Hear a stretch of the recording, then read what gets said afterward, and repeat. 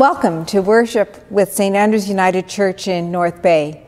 We are so pleased that you have chosen to join with us, and we hope that you will be welcomed and feel that this time is a blessing to you. This is Sunday, May the 2nd, the fifth Sunday in the season of Easter, and today we are exploring the sense of the image of Jesus as the vine and the church as the branches. There are a number of announcements that I want to bring attention to this morning. And uh, first of all, to say that May 5th, 2013, this congregation became an affirming congregation of the United Church of Canada. And in June, when it is Pride Sunday, we'll have an opportunity to celebrate that more. But I did want to mention that this is a special weekend for the congregation as we remember that commitment and that history, and as we think about how we live that into the future. You will notice if you have looked at the bulletin for today's worship that this is also the beginning of Mental Health Awareness Week and that the United Church has taken this on, and particularly uh, the cluster of United Churches in the North Bay area have committed to seeing mental health as a priority for conversations and education within our churches. And so I hope that you will take a look at the Together newsletter and see the opportunities for joining in a series of webinars that the United Church of Canada is joining, and also to read the ways in which each of us can be more conscious in our own lives of how we pay attention to our own mental health and the mental health of others. We all know that during this pandemic time, many people are struggling with a sense of well being. Next Sunday is for many families, Mother's Day, and also traditionally within the church, Christian Family Sunday. And so the United Church of Canada has launched a way of celebrating that that invites us to be conscious of families that struggle and how our support is so important for them. That support that comes through the programs of our Mission and Service Fund. And so I again point you to the Together newsletter and invite you to look at the ways that you can participate in supporting other families during that day of celebration. And lastly, next Friday, May 7th, is the first of our transition conversations that are happening by Zoom. And you're going to find all the information about how you connect with that in the Together newsletter. This is a time where we hope people will come and just share some of their dreams for the congregation, some of the ways that you see the congregation moving forward, as well as some of your concerns and anxieties about how the congregation can live into its future. Your presence is welcomed, and we hope that you will take advantage of this opportunity to lend your voice to how this congregation moves forward. In an offering of respect and honor, we acknowledge that we meet on the traditional territory of the Anishinaabe Nipissing First Nation. We acknowledge their care and stewardship of the land as a gift, and we offer ourselves to the ongoing work of truth and reconciliation and to finding a path toward right relations. During the season of Easter, we have been lighting what we have named the resurrection candle, the candle that reminds us of the new life that shines through the risen Christ. Today we light it remembering that that life is something that is shared with us as we abide in Christ and Christ abides in us. May this light grant us peace and comfort, love, and wisdom. I invite you to join with me in the call to worship. Come and abide in the one who is our life. Like a branch needing to be nourished, seek the love that flows through the vine, connecting all to the one who is love and to one another. As branches of the same vine, we join in worship and offer our praise. We join our hearts and our words as we offer ourselves in prayer before God. Join with me. God of love, who tends the garden of life, root us deep in the rich soil of your grace. Help us to grow and flourish as branches of discipleship on Christ's vine. Let your love flow through us, connecting us in common purpose and encouraging the fruit of our lives to bring forth gifts of encouragement and beauty. Abide in us, that we may be drawn to abide in you and to bear that love for one another in the world. We pray this in your name, and we offer the words that you have taught. Our Father, who art in heaven, hallowed be thy name. Thy kingdom come, thy will be done on earth as it is in heaven. Give us this day and our daily bread. Forgive us our trespasses, as we forgive those who trespass against us. And lead us not into temptation, but deliver us from evil. For thine is the kingdom, the power, and the glory, forever and ever. Amen. Our opening hymn this morning is Many Are the Light Beams.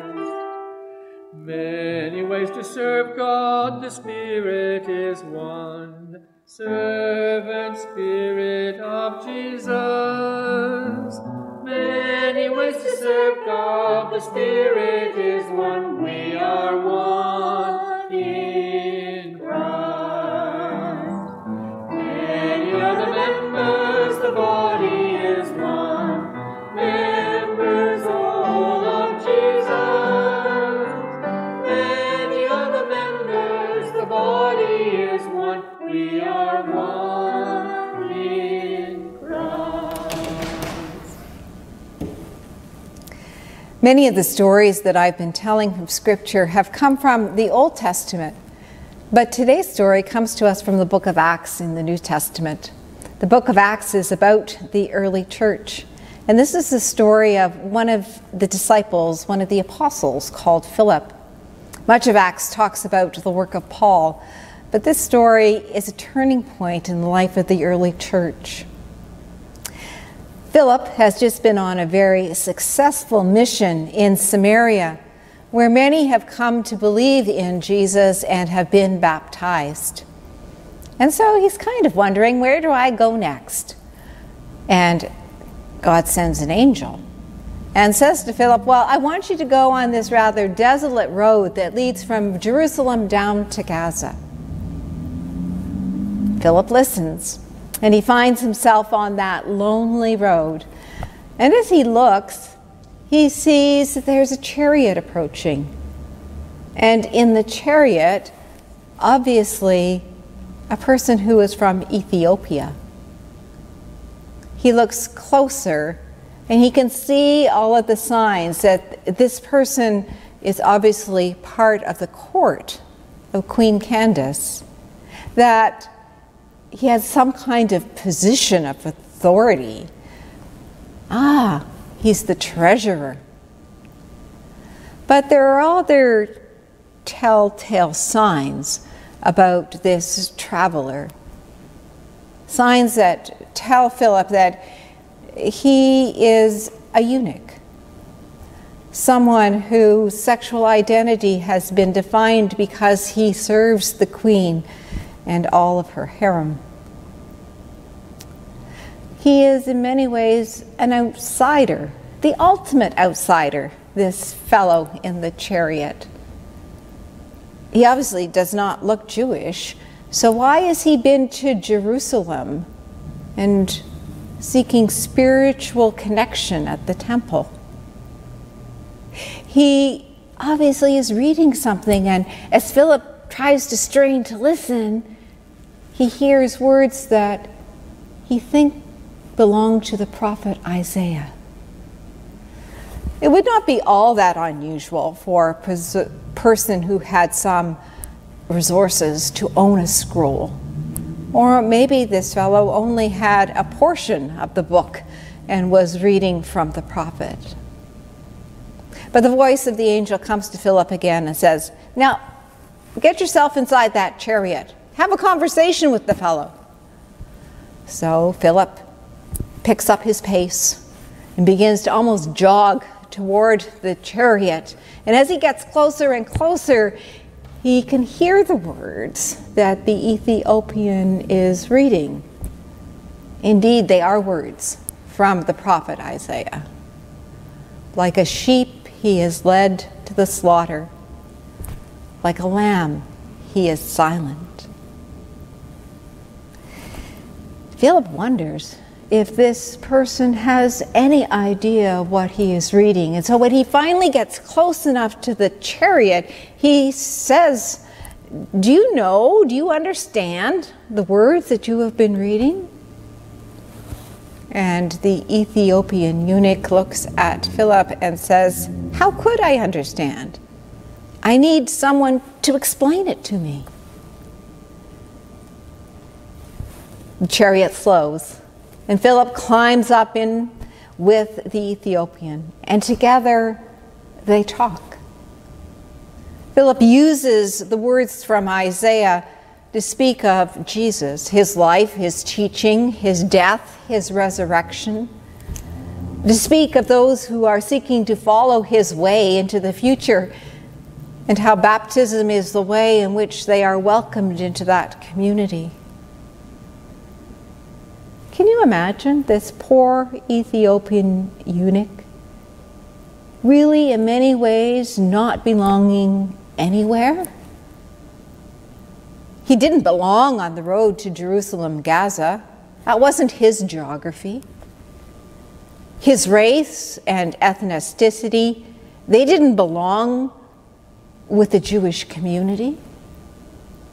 His expression of sexuality, that put him outside of all kinds of communities and religious practice.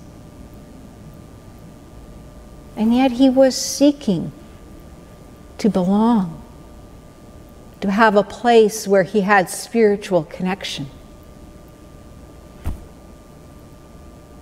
As they continue down the road, it's the Ethiopian who sees the water and says to Philip, is there any reason I can't be baptized? And he has the chariot stop. And Philip and the Ethiopian climb out, they go down to the water, and Philip baptizes the Ethiopian. And then, as the story goes in the book of Acts, Philip is gone, vanished, and the Ethiopian never sees him again. But there is a sense that the Ethiopian has gained a sense of connection, of belonging, of knowing that he is welcomed into a community whose inclusivity is shaped by love. For some, this is the story of the first baptism outside of the known community, the first Gentile for some, this is a story of radical welcome and inclusivity. For some, it's a story about the power of baptism to bring people to a relationship with Jesus? It's probably all of those things. And on this weekend, when this congregation celebrates its inclusivity, is a story that invites us to think about who we stop to listen to, who we invite to be part of the conversation. Who are those with whom we share the community of Christ? The reading today is from John 15, verses 1 to 8, the vine and the branches. I am the true vine, and my Father is the gardener. He cuts off every branch in me that bears no fruit, while every branch that does bear fruit he prunes so that it will be even more fruitful. You are already clean because of the word I have spoken to you. Remain in me as I also remain in you. No branch can bear fruit by itself, it must remain in the vine. Neither can you bear fruit unless you remain in me. I am the vine, you are the branches. If you remain in me and I in you, you will bear much fruit. Apart from me, you can do nothing. If you do not remain in me, you are like a branch that is thrown away and withers. Such branches are picked up, thrown into the fire, and burned. If you remain in me and my words remain in you, ask whatever you wish, and it will be done for you. This is to my Father's glory, that you bear much fruit, showing yourselves to be my disciples. These words are offered as wisdom for our journey. Let us walk together in their truth. I invite you to pray with me. Holy Spirit, flow through us with the sap of your love that we may hear words to both encourage and challenge us, and that we might know your presence in our hearts and minds. Amen. So, this is the time of year, if you're an avid gardener, you're already out there playing in the soil. And even if you're not a gardener yourself, you can't help but notice the signs of gardeners having been at work soil that's been turned over, branches at the end of the driveway that are waiting to be picked up. And in a few weeks, those seedlings that we will see freshly planted. So it's not so hard for us to imagine this image of God as the divine gardener, the vine dresser, the one who tends the vine and the branches in passage of scripture from John's Gospel that Pat read for us this morning, we hear this wonderful imagery of Jesus as the vine and the church, the disciples, as the branches. It's an image of the church that has sustained for generations, one that's depicted for us in this wonderful McNutt window that is in the chapel of St. Andrew's. Of course, we in Northern Ontario are maybe geographically challenged a little to grow vines of grapes, but we certainly are not challenged to grow a sturdy tree with many branches. And this particular depiction of Jesus as the vine and the church as the branches holds for us this image of the great trunk of life with all of the branches outstretched as a canopy holding creation under its shade. It's also a reminder that we are connected with those who have walked before us, that we share this connection with those who have borne the fruit of faith in our community, like the McNutts. I don't know what you think of when you think of a vine of grapes, but I don't tend to think of something that's overly large.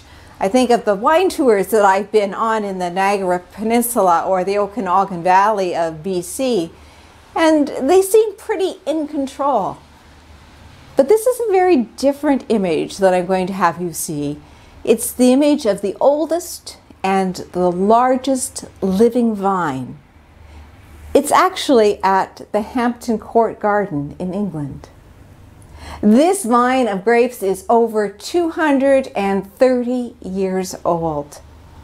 And the vine at its base now measures over 12 feet. And the longest branch on that vine is 129 feet long. That changes my perspective a little bit about what it means to be called the branches of the vine. If we look at the canopy that they provide over the greenhouse, we see that they are thriving and growing. And this very old vine still bears an abundance of fruit. So much so that the public is invited each September to come and help harvest all of the grapes that are found.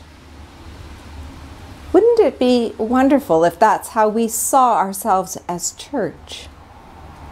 Growing, vital, alive, able to produce much fruit in the world. In some ways, this is the image that Jesus is holding out for his disciples. This reading is part of what is called the discourse, the farewell discourse from John's Gospel. Jesus is trying to prepare his disciples for the time when he will no longer be with them. And what does he say to them? He says, I'm like the vine. I'm going to be always with you. My love will continue to nourish, to invite you to grow, to allow you to bear fruit in the world. I will abide in you, and you will abide in me. And you know that early church needed those kinds of words of encouragement because they were trying to figure out exactly what kind of community of faith they would be.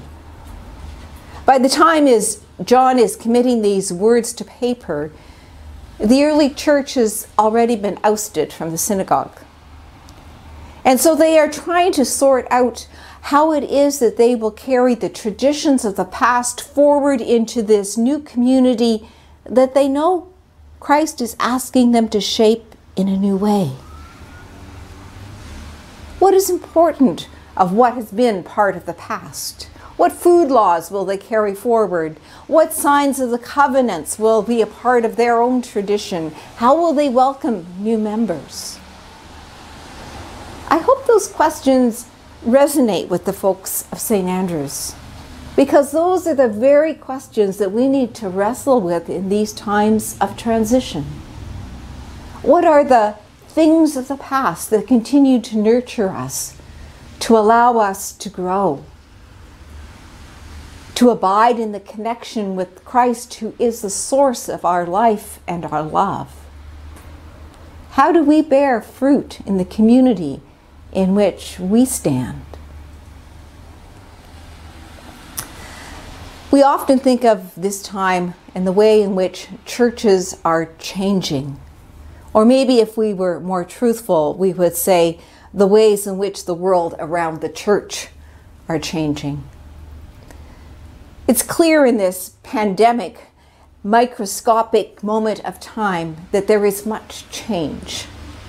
If you had been doing strategic planning just two years ago, could you have imagined that the number one thing on that list would be learning to do online worship as a way of staying connected? But here we are. It's a fundamental practice of how we are church in this time. In some ways, those shifts, those changes, as difficult as they are, are also like a pruning that maybe allows us to discover new life in a way that we never would have imagined on our own. Being connected is central to this gospel passage. Connected both to the vine that is the source of our life, connected to one another as branches in the community, and through our fruit that we bear, connected to the world around us. You see, the source of a community's life is found in the love that nourishes it.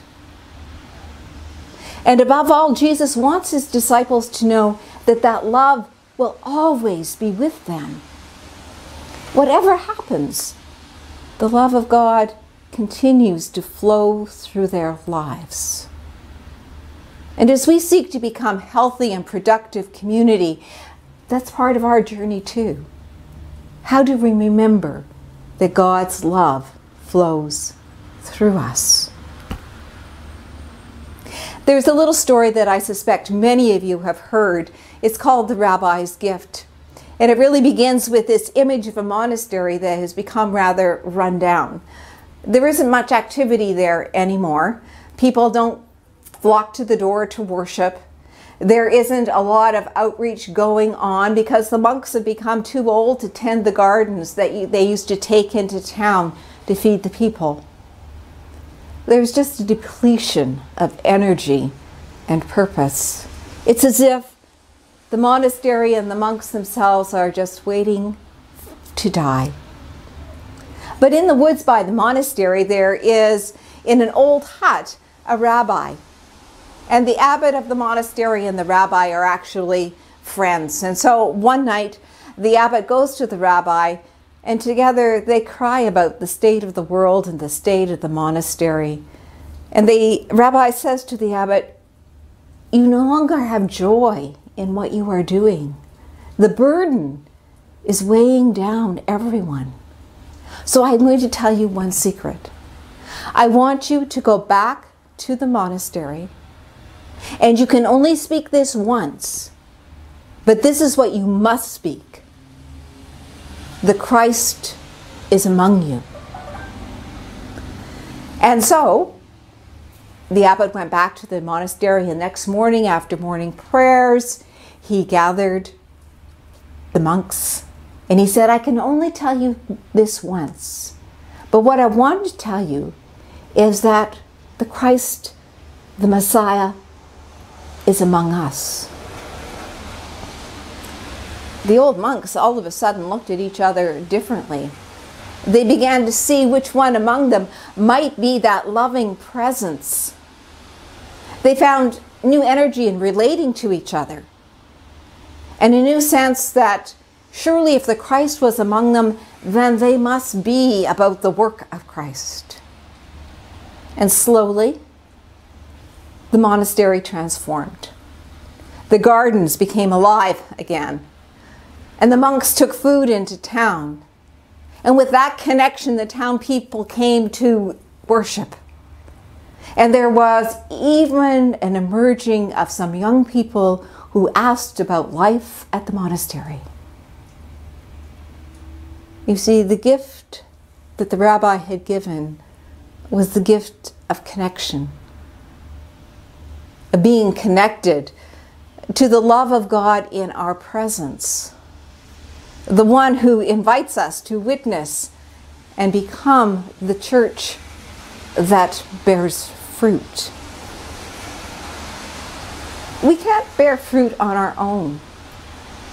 We need to be nourished from the vine and we need to be gathered in this community of branches that are intertwined and interconnected, but protect and nourish each other. So I wonder what would it look like to bear the fruit of discipleship? For those of you that maybe are more familiar with scripture, your minds might already be racing ahead to a familiar piece in Galatians 5, where we are told what the fruits of the Spirit are those wonderful gifts of love and joy and peace, patience, kindness, faithfulness, gentleness, and self control. And those certainly are gifts that as people of faith we experience and are given as we become closely connected to the one who is the source of our being and our life. But as church, we are also called to bear a different kind of fruit. Fruit that the world can partake and be nourished by. Fruit that bears the seeds of justice in the world. Fruit that knows how to feed those who are hungry. fruit that speaks of the sweetness of life, fruit that can be used in as many ways as the human imagination can begin to picture. Fine wine, grape juice, oils, vinegar, raisins, all of those fruits. A tree does not bear fruit for its own sake. It bears fruit as a gift to others.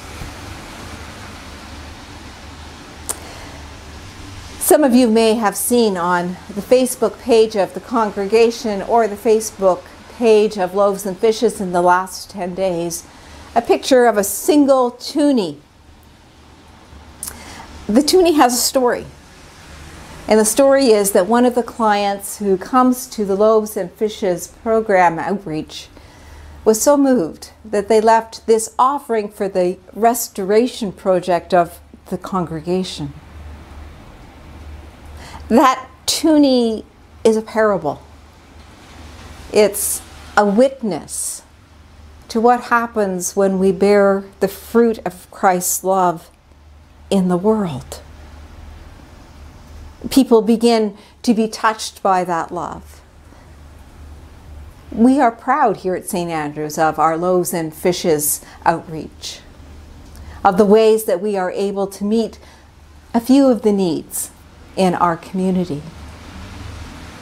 But this parable of the loonie reminds us that we are equally as blessed by the fruit that is born in the lives of those whom we touch. This gift says that as we share the fruit of our love, not just in ways that feed the body, but we hope in ways through respect feed the souls of those who come. Life is transformed and fruit is born. I pray for St. Andrews that we might learn to grow as branches of the vine, that we might discover deeper connections with the source of our life and our faith, our hope, the love that overflows. That we might learn how we can connect in ways that support and uphold one another as we learn and are able to bear fruit in the world. And that we might be nourished so that we can bear the fruit of love for others. May we learn to live as that kind of community. May we learn to be those who bear the fruit of Christ in our world. May it be so. Thanks be to God.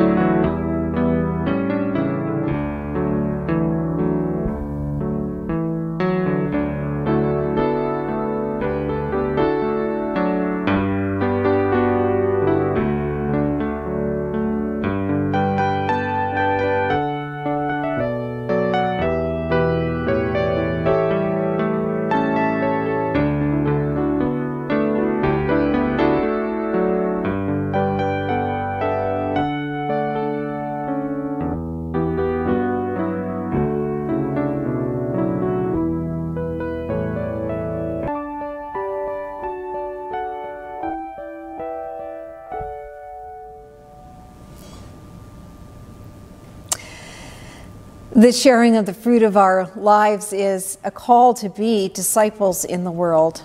And so I want to thank you for the many ways in which you share the fruit of your living with others, whether through that is acts of kindness, whether it's sharing of resources, whether it is a way in which you help build a world more just and caring.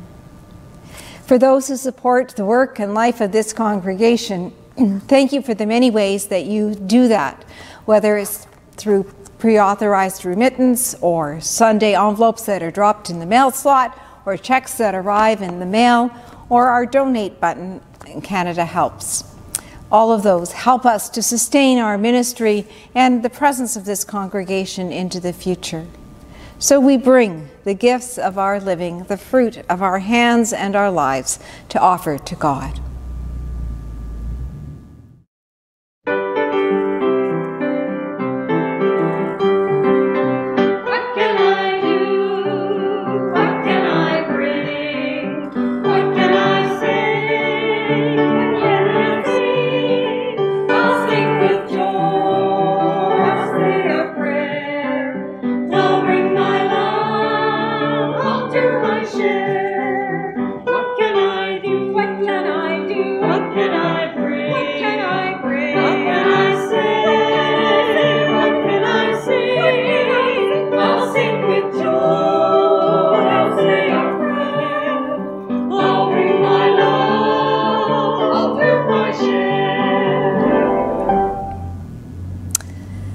Let us offer these words of dedication.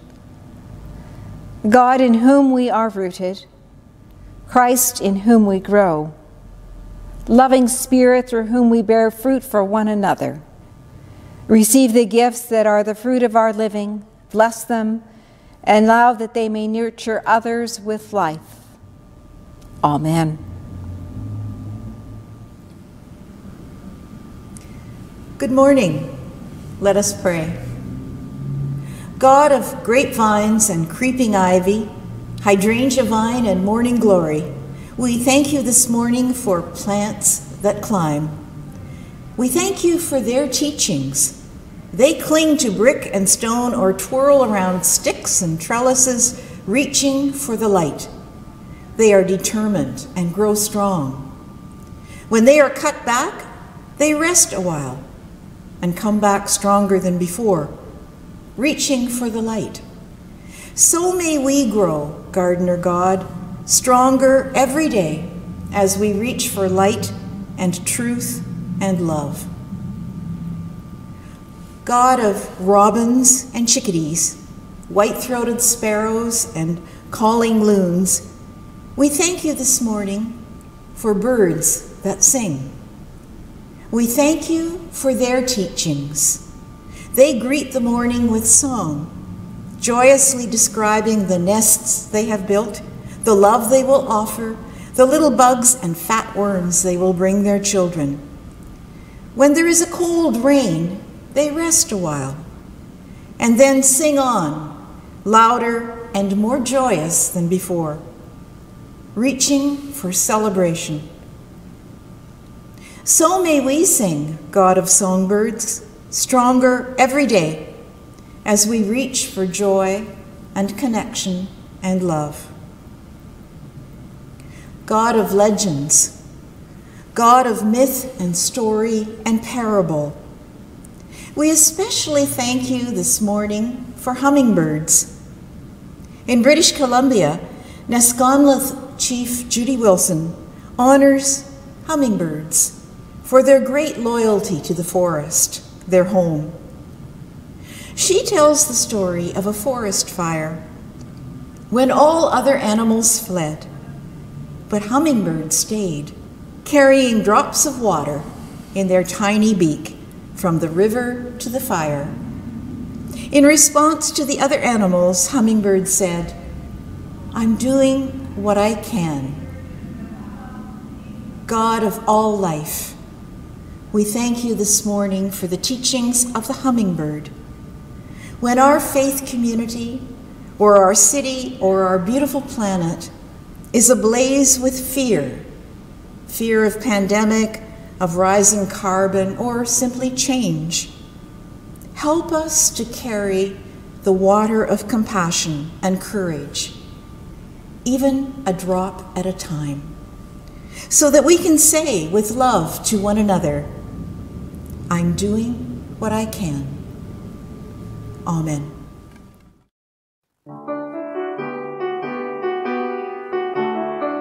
The spring has come, let all the church be part of it. The world has changed and God is at the heart of it. New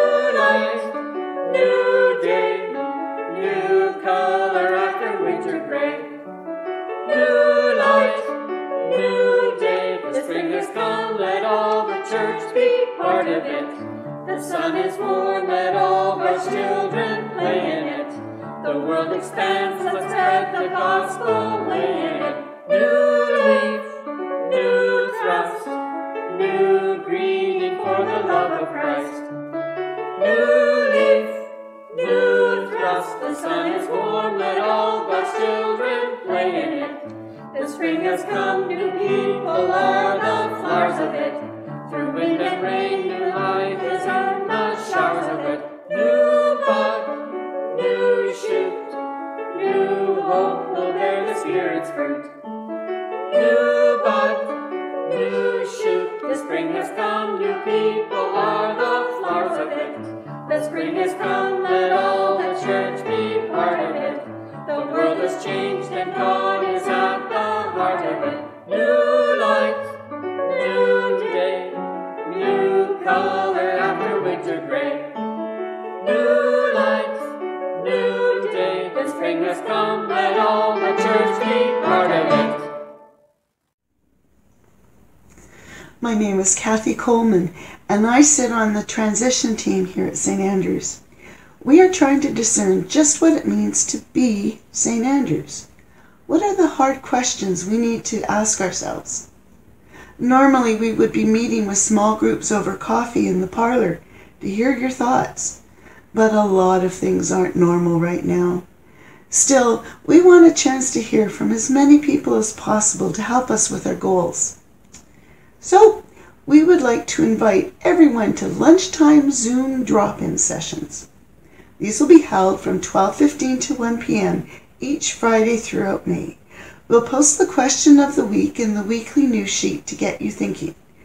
We'll also post the link and other information you need to connect with us.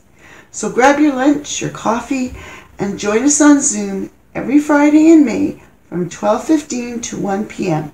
for what we hope to be a lively drop-in discussion group. We are really looking forward to hearing what you have to say. As we prepare to uh, leave this time of worship, I just want to remind you that if you were wanting to know more about what is happening in the life of St. Andrew's congregation, if you want to feel more connected, that the way to do that is through our Together online newsletter that appears on our webpage each week.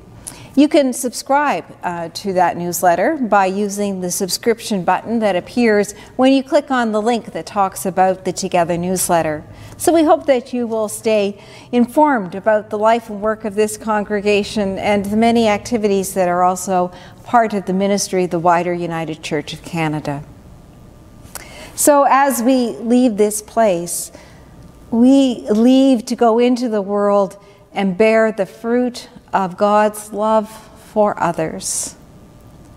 We are challenged to grow, to be alive, to be vital and productive disciples that others might come to know the love that sustains our living. So may God, who is the gardener, the vine grower, tend you and make you fruitful.